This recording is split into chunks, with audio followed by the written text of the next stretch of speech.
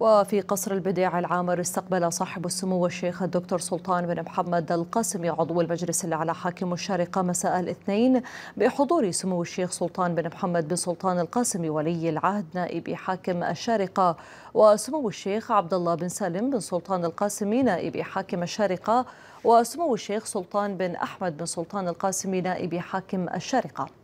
استقبل سموه المهنئين بحلول شهر رمضان المبارك وتلقى سموه التهاني والتبريكات بهذه المناسبة الدينية العظيمة من كبار المسؤولين وأعيان البلاد وأبناء القبائل والمواطنين. ومن معالي عبد الرحمن بن محمد العويس وزير الصحة ووقاية المجتمع ومن كبار ضباط القيادة العامة للشرطة الشارقة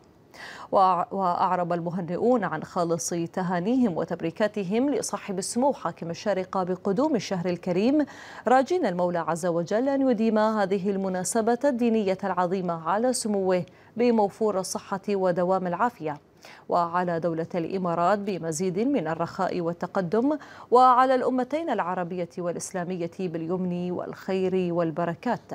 حضر الاستقبال كل من الشيخ محمد بن سعود القاسمي رئيس دائرة المالية المركزية والشيخ خالد بن عبد الله القاسمي رئيس هيئة الشرقة للموانئ والجمارك والمناطق الحرة والشيخ سالم بن عبد الرحمن القاسمي رئيس مكتب سمو الحاكم والشيخ خالد بن عصام القاسمي رئيس دائرة الطيران المدني والشيخ محمد بن حميد القاسمي رئيس دائرة الإحصاء والتنمية المجتمعية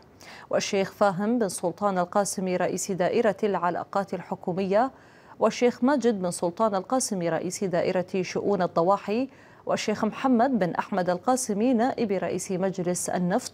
والشيخ سعيد بن صقر القاسمي نائب رئيس مكتب سمو الحاكم بمدينة خرفكان